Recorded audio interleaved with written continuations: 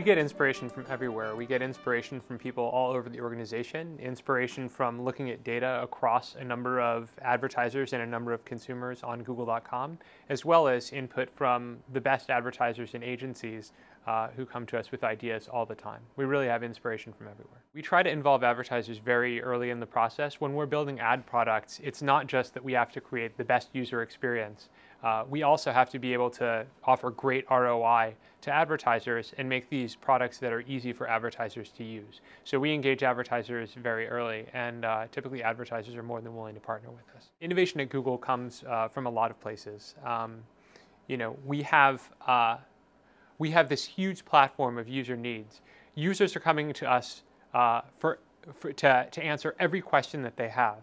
And in cases where we can't answer their questions well, uh, it's a bug, it's a problem for us to solve.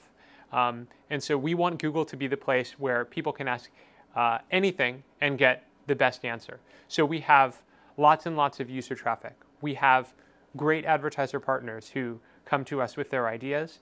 Uh, we also have just a number of creative people here at Google at all levels, and our relatively flat structure and our great platform lets us iterate quickly, get an idea out there, measure it against user and revenue metrics, and then launch it very quickly worldwide. It's absolutely uh, a push and pull with our clients when we come to them with new ideas.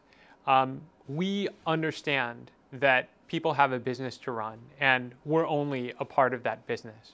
So we need to understand, but the reason that we go to clients so early on is because we want to understand their needs and the reality of them doing business, how easy it is for them to adopt the new concepts, what their back-end processes look like uh, in order to react to a particular feature, what uh, parts of the new product that they see value in, and things of this nature. These are things that we just can't figure out on our own. Uh, the sensitivities that our advertisers have, um, you know, aren't necessarily uh, easy for us to predict. The different experiences on uh, the desktop, mobile, tablet, and in-store need to be tailored to the device and to the environment, but they need to be done so with an eye to the consumer using all of those devices in order to make the decision, especially for considered purchases.